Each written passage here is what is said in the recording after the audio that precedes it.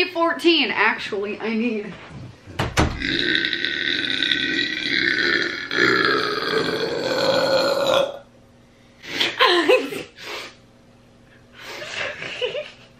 I belched. No, I think you just unleashed a demon. That's some of my better work, I will admit. I can't open this. My nails are too long.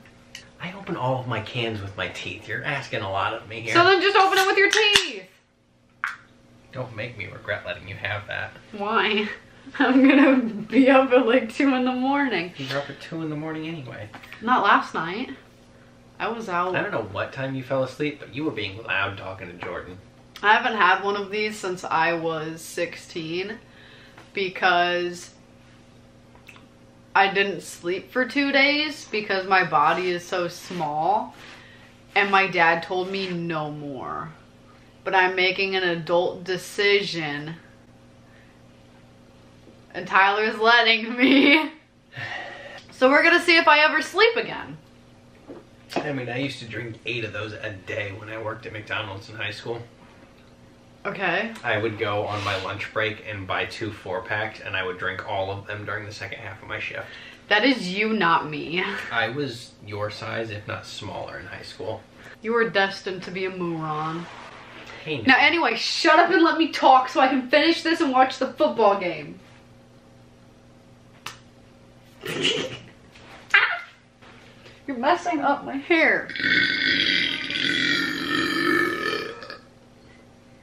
it's stuck. Well, get it out before I start reading my story. So it's day 14, okay? And I have a story from Jenny K. Her YouTube is the Wisconsin Files, and I strongly suggest you go subscribe because her videos are amazing. I get excited, so excited when I see that she uploaded because her videos entertain me so much. There it went. I'm afraid to drink now. So, I think I have been fascinated by the paranormal since as far back as I can remember. The prospect of something supernatural lurking beyond the veil, I believe, fascinates most of us. I'm your typical run of the mill paranormal investigator. I do my utmost to debunk or disprove a lot of the oddities I run across. About 80% of the time, I can give you a logical explanation for an unexplained occurrence, but there are those handful of cases where I have been left completely baffled. Today, I would like to share one of those cases with you, a story that left me with an uneasy feeling that has lingered to this very day. The year was 2008. I was fairly new at the whole ghost hunting bit, but with a group of friends on a hot July night, we set off to explore an abandoned country home. The night was particularly humid, the type of humidity that leaves you gasping for air. If you are familiar with Wisconsin, then you know exactly what I mean. The road we turn onto that brings us to the old decrepit farmhouse was an old beaten down dusty path. It takes you into this thick wooded area, and amongst the wild vines and thicket lies the old eight bedroom farmhouse. This place was massive, with two grand spiraling staircases. One was in the kitchen, almost like a servant's entrance, but with much grandeur, and the other was a breathtaking giant wide set of stairs that wrapped into a pointed turn and led the rest of the way up to the second floor. The first floor was grand. A stained glass window from the landing of the steps let in a most glorious multicolor light. Almost ominous, the sprawling layout made you pause. A huge fireplace sat in the foyer, and another was in stone in the living area. And another vintage fireplace sat in the kitchen as well as the dining room. A massive burn hole separated you from one side of the first floor to another. The stairs remained intact. Sadly, this lovely home was partially destroyed by a fire. I will relay the details as follows. Sometime back, maybe the early 60s or so, according to the history of this place, a family of 12 once resided in these walls.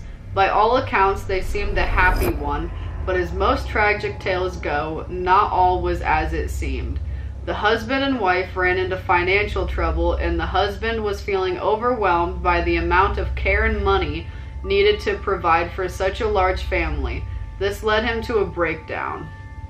One day, as the children arrived home from school, they noticed that their father had seemed agitated. Not wanting to further upset him, they opted to keep out of sight in their upstairs bedrooms. While doing their homework, the children could smell a strong smoke waft up the stairs. At first, thinking that perhaps something had gone wrong with the fluke, the older kids came down to investigate. They would begin to panic as they realized it was their father lighting the home on fire with all the kids upstairs. Quickly thinking, the older kids rounded everyone up and got them to safety. Surprisingly, the father was still alive when the fire department arrived. He was charged with arson and some other offenses. He wouldn't serve prison time, however. Instead, he spent the remainder of his days locked up in a mental institution until his death in the 80s. Now we have context of the history here. Let's get back to the story. So, as we all stumbled into the first floor, we headed straight for the steps, eager to explore the upstairs. The night was beginning to fall, and we had one dismal flashlight that wasn't providing much light at all. The upstairs looked as if it came to life straight out of a horror movie. The long, foreboding hallway aligned with such an eerily symmetrical doors, one lonely window directly at the end illuminating the space with the first bits of moonlight. I was now feeling a bit uneasy. It was up here that we all began smelling what we thought at first was burnt popcorn. It took a few seconds to realize we were smelling smoke from a fire. We begin running down the set of other stairs, convinced this place has somehow started on fire once more. Rationalizing that it was probably an electrical situation, we made it into the kitchen on the opposite side of the giant burned out hole. We smelled the smoke strongly, but there was no smoke. In fact, the house felt so silent it was becoming deafening. It was then we felt the coldest breeze brush past us, wafting that smoke smell around. Then the loudest footsteps started hitting the stairs behind us, ascending to the next floor. There wasn't a soul on those steps. We all decided to get the hell out of there as fast as we could. Entering the car, we all saw a light go on in one of the upstairs bedrooms. My friend begins to peel out on the gravel driveway and onto the old dirt path, the light remaining on as we gained distance and it faded into the blackness.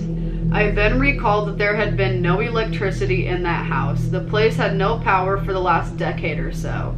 I'm not sure what exactly happened there, but I know it was something I could never logically explain. It was my first real encounter with the unknown, and one that I still remember as vividly as the day it happened. Thanks for taking the time to read my tale. I think some things are just better left unknown. That's freaking wicked.